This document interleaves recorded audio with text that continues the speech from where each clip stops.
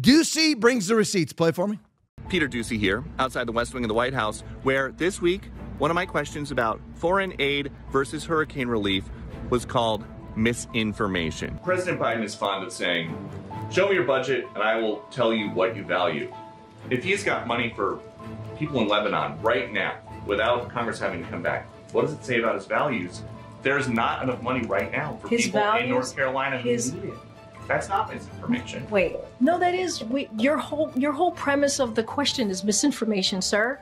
What you don't? me? Yes, yes, Which it's part? misinformation. I've got the information right here. The vice president is posting on social media about $157 million in additional assistance to the people of Lebanon. President Biden is posting about how the Small Business Administration's disaster loan program is going to run out of funding if Congress does not come back.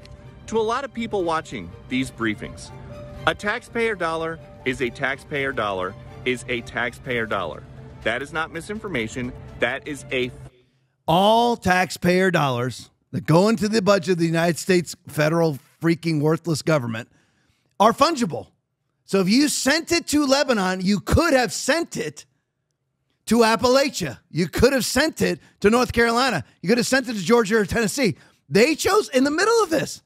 Again, you know what? Right in the middle, right after Hamas invaded Israel, killing 1,400 people in one day, Joe Biden, not a week later, sent millions of dollars to Hamas.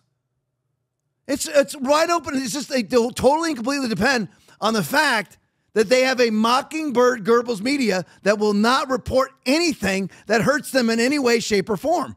They know that. And by the way, let's look at this. What, what are you? What is this that you're wearing?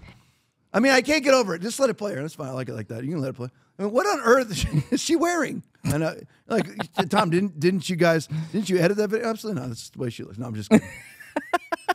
that's Dilley. That's Dilley Meme Team's video. It's awesome. We played it on uh, Tuesday. But anyway, there she is. I mean, who who who dresses this woman?